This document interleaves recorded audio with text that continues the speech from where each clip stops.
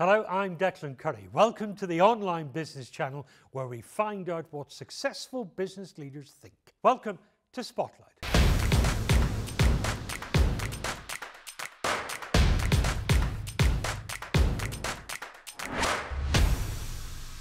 The growth in online communication and in particular social media has changed how business shares information and ideas forever.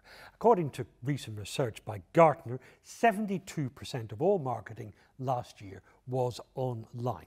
So you'd be forgiven for thinking that perhaps the days of using physical media to engage customers are all but over. Well, you might have to think again. Think of vinyl records. Their sales are booming, so too our sales of books. Physical media is in fact in rude health and is fighting back. And at the cutting edge of this trend and helping businesses better understand how they can use physical media to successfully engage customers is print and direct mail specialist, eight days a week print solutions. Its managing director, Lance Hill, is with me. Welcome to Spotlight.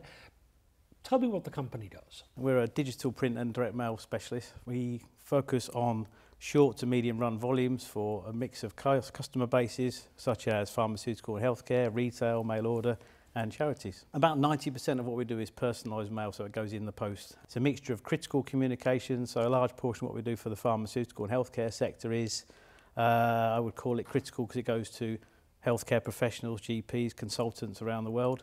Then there's the more marketing and advertising type of mail, which is offers that are highly targeted for the retail type sector. So it's a real broad mix of product type and also volumes. And it's all on paper? Everything we do is ink on paper, but all done digitally, so there's zero waste. Why would you put anything through anyone's letterbox anymore?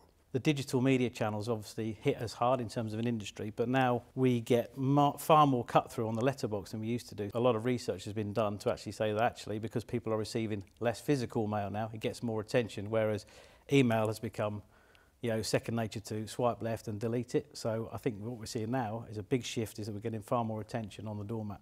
And that's the conversation that you have with your clients. You're not telling them to just do digital print.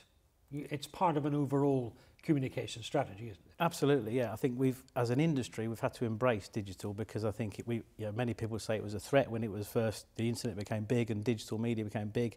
But we've had to embrace it because it's been proven that multi-channel works together. So you've got cinema, TV, outdoor media, and then mail working with it, you know, even with radio as well. So again, it's proven that multi-channel works stronger.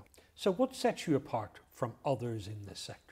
What we're very good at is once we've got a customer on board is keeping them. You know, they don't go anywhere else. We're very, very sticky with our clients. And it is about the added value. So what else can we do? We've broadened our services as well. Rather than just being a digital print business, we are now offering lots of other things like design, data, creativity, that kind of stuff as well. So it's about broadening the offering we've got and making sure that we tick the boxes for those customers in terms of what they need and just being easy to deal with. And for a business that uses paper and ink and water and all these other precious resources, the governance of your business is hugely important. It's also an example of where you can have innovation. Absolutely is, yeah. We've invested heavily in new technology that is sustainable, it's using water-based inks, etc., and how we handle all of our recycled materials. It is very important also about data as well, in terms of how we handle that, um, because more and more customers are demanding that we are much stricter about how we handle everything from all of our waste materials and also have a, a good visibility of it as well and traceability of it. So it's really, really important and we are very, very hot on that. What are the most important, the most useful uh, things that you've learned that you can pass on? It's people. I think if you've got the right people around you, it makes life so much easier. I think it's about painting a picture of being a leader in terms of, right, this is the direction of travel that we're going on. This is where we can take this business. This is where the opportunities are and get the people on board with the journey. And I think that is the single biggest thing that makes a massive difference because if you've got everybody pulling in the same direction, it's a damn sight easier to get there. You're still an entrepreneur at heart. Uh, lots of entrepreneurs that I've met over the years have been completely 100% focused uh, on their business. You've taken a broader view and a broader path. You're not afraid to get stuck into sort of wider industry issues. Is that something other entrepreneurs should do as well? Absolutely, yes, I think they should. Um, I'm very passionate about the industry that's given me a good career for over 30 years.